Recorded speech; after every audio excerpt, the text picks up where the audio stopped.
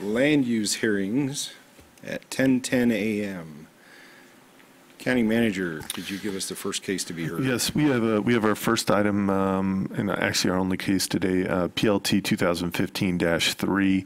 It's Crossroads uh, Commerce Park. Michael Weaver with our planning department is going to talk through the case.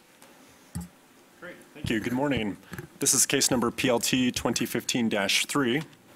Um, Before I begin, this will include uh, an overview of the request before you this morning, as well as um, a memo that was attached to the staff report, which provides a brief overview and historical background information about this exciting project. So I'll kind of go over that first and then go into the details of the request. So the applicant is requesting a waiver from Section 527 required improvements prior to the issuance of building permits and to tie these requirements to the issuance of certificates of occupancy rather than to building permits for the Crossroads Commerce Park at Globeville subdivision. Brief history of the site. Refining operations began back in 1886. During uh, most of the 20th century, we saw ongoing lead and arsenic smelting and cadmium production on the site. In the 1980s, CDPHE sued ASARCO for environmental damages. Both parties agreed to conduct, to conduct joint studies to, de- to determine the extent of the contamination on the site. In 2006, the Globe plant closed. The following year, Globeville One LLC negotiated a purchase agreement with ASARCO and the bankruptcy court to accept obligations and liabilities associated with the property and to redevelop the property. In 2009, the ASARCO, Multi-State Custodial Trust was approved and received title to the Globe site and $16 million for carrying costs and remediation. In 2014, Globeville One LLC acquired the site from ASARCO Multi-State Custodial Trust and in the same year, the Adams County Board of County Commissioners approved Metro District Service Plans, an overall development plan, a rezoning of the site, a preliminary development plan, and preliminary plat for the site. And this year, 2015, uh, a no further active remediation letter from CDPHE is anticipated as environmental remediation of the site is completed. Here's a view of the uh, former Globe plant after it ceased operations in 2006 and before it was, uh, before the various buildings were actually uh, demolished. Goals of redevelopment include job creation, transformation of the neighborhood and the Washington Street corridor, and remediation of a contaminated property. Anticipated outcomes include construction of 750,000 to 1 million square feet of high-quality commercial and industrial space, as well as the creation of 1,000 plus jobs. Soil and groundwater remediation and site redevelopment has required public-private partnership and federal-state regional cooperation to close a significant financing gap. This included a $10 million Section 108 HUD loan through Adams County Community Development, as well as $750,000 in grants through the City and County of Denver's Office of Economic Development. Construction and engineering plans for the site are under review. Globeville One LLC currently is working on the final development plan, final plat, and subdivision improvements agreement. It is anticipated that these requests will be brought before the BOCC in late spring or early summer. It could occur earlier than this. For example, if they were to submit this week, for instance, we could see a BOCC hearing as early as the end of May. Now, pursuant to Section 527 of the Adams County Development Standards and Regulations, improvements such as curb, gutter, sidewalk, drainage, and other street construction improvements must be complete and have preliminary acceptance granted by the Adams County Transportation Department prior to the issuance of a building permit. Due to a desire on the part of the applicant to have the first buildings in the new subdivision be complete by the end of 2015, the applicant is requesting that building permits be allowed to be issued prior to the completion of all required improvements.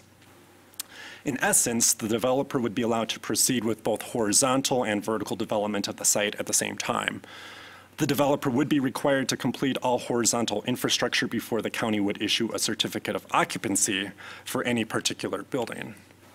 The proposed subdivision will consist of eight lots. The northerly four lots, lots 1, 2, 3, and 4, have direct access to East 55th Avenue. The southerly four lots, lots 5, 6, 7, and 8, will take direct access to future Metro District maintained roads. This waiver request will only apply to the four northerly lots abutting 55th Avenue due to limited fire department access elsewhere on the site. The applicant, acting as the master developer of the Crossroads Commerce Park at Globeville subdivision, intends to install the horizontal infrastructure and then sell the development-ready pads to a vertical developer who will construct the buildings. The applicant would like to commence with the horizontal infrastructure in spring of this year and finish by November of this year. The applicant states it is under contract with a vertical developer, Trammell Crow, who has a potential tenant or tenants interested in occupancy by January 1st of 2016. In order to meet this deadline, the building or buildings would need to be completed by the end of 2015. As a result of the applicant's contract with Trammell Crow and Trammell Crow's potential interested tenant or tenants and the potential interested tenant or tenant's occupancy preferences, the applicant states it would not be able to meet its contractual obligations with Trammell Crow unless the county grants a waiver and issues building permits for vertical construction prior to completing all required horizontal improvements. Without granting such a waiver, the vertical developer would not be able to obtain building permits until all of the horizontal infrastructure is complete, anticipated around November of 2015, which would not allow the vertical developer enough time to construct the building or buildings prior to the date by which a potential tenant or tenants has indicated it would like to occupy a building or buildings on the site. At the time of platting, the applicant would be required to construct street improvements consisting of curb, gutter, and sidewalk adjacent to the property frontage, as well as right-of-way dedication. Uh, The Transportation Department notes that the proposed subdivision will have access to West 55th Avenue at several locations and a single access to Washington Street. The Transportation Department notes that issuance of building permits prior to acceptance of the public improvements presents some issues to the county, including fire and emergency vehicle and personnel access, increased stormwater runoff from the site due to increased imperviousness and the detention of ponds potentially not being completed, issuance of building permits on a site that does not provide the proper vehicle access and handicap accessible routes, issuance of building permits on a subdivision that has not been approved, and they note that the site lies within the county's MS4 stormwater quality permitting area. No construction or building permits should be issued until the applicant has been issued a county stormwater quality permit and has obtained their state stormwater quality permit. The Transportation Department further notes that Section 527 specifically addresses the concerns listed above and requires preliminary acceptance of all public improvements prior to issuance of building permits. If this waiver request is approved by the BOCC, then the forthcoming subdivision improvements agreement will need to include strict language on how these issues are to be addressed and resolved. If the final plat is ultimately approved and the requirements of Section 527 can be met for any individual lot within the subdivision, then the Adams County Transportation Department would not object to the issuance of a building permit for that lot. Adams County Fire Rescue, in a letter dated February 4th, 2015, states that the hydrants on East 55th Avenue are sufficient for construction as long as the buildings are in the northern portion of the development and fire department access is provided. Here's a view looking west along East 55th Avenue. This is along the northern uh, perimeter of the site, which is to the left in this photograph. Here's a view looking east along East 55th Avenue. Here's a view looking south along Washington Street, peering into the site. Here's a view looking north along Washington Street. And here's a view looking west directly into the site. The overall concept of the applicant's proposal is to develop the 62.4 acre subdivision into a business park consisting of eight lots for commercial, office, and light industrial uses. Due to a desire on the part of the applicant to have the first buildings in the new subdivision be complete by the end of 2015, and due to practical difficulties arising from strict compliance with these standards and regulations, the applicant is requesting that building permits be allowed to be issued prior to the completion of public improvements infrastructure.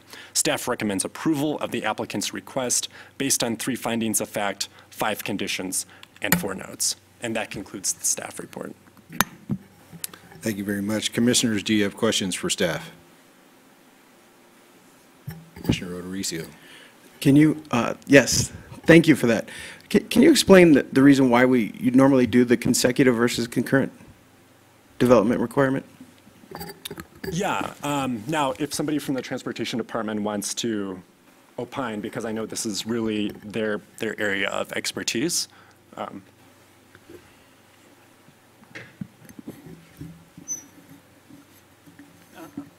Hello, my name is Matt Emmons. I'm with the Transportation Department. Uh, Can I ask you to expound on your question a little bit more? So what we're talking about is, is allowing the vertical and the horizontal to be done, done concurrently, right? Yes, And it's usually done consecutively.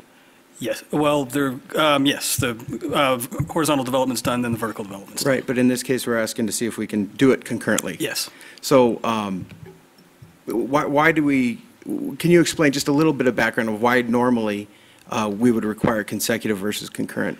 Well, The, uh, uh, excuse me, uh, the public infrastructure that would be built would typically consist of uh, roads, utilities, sanitary sewer, water, uh, dry utilities. Those things have to be in place to provide other services like life safety issues, uh, accessibility to the site. So that's why you want to get your horizontal development done before you go vertical to make sure that the correct services are in place for, to support that vertical development. And we don't think that, that uh, per- approving this waiver is going to put any sort of hindrance on any other process down the road. In fact, what I'm hearing from you guys, let me know if I'm right, is that this, that you feel comfortable with this today? You have a unique situation here with the four lots on 55th Avenue. Because the 55th Avenue exists, the utilities exist in that road, and the fire department has the, the infrastructure in place to uh, provide life safety uh, um, support there, those four lots, we wouldn't object to it. Um, Okay. We prefer to see all the development done, all the horizontal development done first, however. That makes sense. Thank you. More? Commissioners, any other questions? So I have a quick question for you, and that is on the stormwater issue. If you could go back to the slide where the Transportation Department was commenting on the stormwater? And I'd like to know from staff how we address those concerns, because I know the area, and I know the concerns with the stormwater runoff, the impervious surfaces. How did we address those concerns? There are, uh, stormwater issues are addressed in the construction documents. Um, And the only thing left on, uh, on section 527 of the uh, county's development codes and stan- uh, regulations, standards and regulations, is the stormwater. Um, We would address that in the SIA and, the- and have a spe- a specific section in the SIA on the issuance of building permits and tie that directly to the the stormwater improvements. And that's why our, uh, our request here from the Transportation Department says that we should have strict language in the SIA um, defining how tho- those steps are made. So, so my question, my concern is, especially in the second bullet where it says, you know, the detention ponds potentially not being completed. um, I want to know, has, has the, have these been addressed in any shape or form so that we can protect the businesses downstream and the residents downstream and the roads? I have a complicated answer. They have been addressed in the uh, construction documents, and the construction documents are approved. However, there's been a last-minute change to the site. They're having a little trouble obtaining an off-site parcel they were going to use for a detention pond, so we are going to have to review an addendum to the plans to approve that. So as of right now, that issue is not completely resolved. And again, in the SIA, we will address the issue of having all the stormwater improvements done um, for any, any individual lot prior to uh, issuing a building permit, so that we won't have that issue of increased stormwater runoff. And is that something that comes back to the commissioners after we approve this, or is that something that we just turn over to staff and, and it's negotiated at that point? Uh, Much like uh, the um, approval of any SIA, the public improvements will have to come to the county commissioners for preliminary acceptance. So we will have a chance to review that, you will have a chance to accept them. Thank you. I just wanted to make sure that was public comment and everybody knew that was the process. So Great. thank you very much. Commissioners, any other questions? Commissioner O'Dorisio? Just generally speaking, what, are- what are the remaining steps left in the project now, overall? Sure. Um, So currently, uh, the applicants are working on their final development plan and major subdivision final plat applications. And then along with that would be the subdivision improvements agreement. Okay. No other questions for staff? Is the, is the applicant present? Applicant, would you like to step forward and make a statement? Please state your name and address for the record. Uh, Thank you very much, and good morning. Uh, My name is Cameron Bertrand.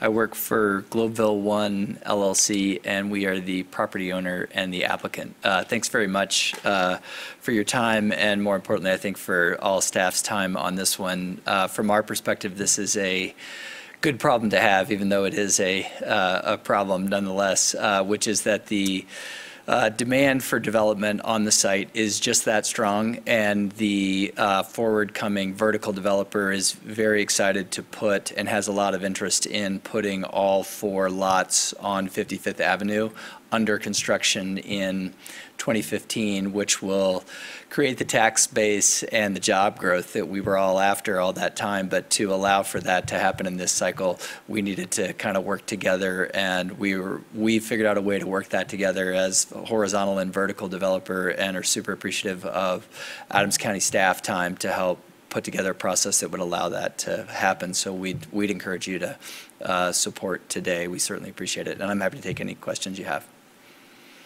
Commissioners, do we have any questions for the applicant? No questions? Easy enough. Thank you very much. Thanks very much. I'll ask if there's anyone in the audience who would like to make a comment at this time on this case. No one? Okay. Commissioners, do we have a motion? Yes, sir. Mr. Chair, I move uh, that the Board of County Commissioners approve PLT 2015-00003. Case name is Crossroads Commerce Park at Globeville Building Permit Waiver with the approval of three findings of fact, five conditions, and four notes. Second. Commissioner O'Dorisio? Commissioner Pulaski? Yes. Commissioner Hansen? Aye. Commissioner Tedesco? Yes. Approved. And we are adjourned. Thank you very much.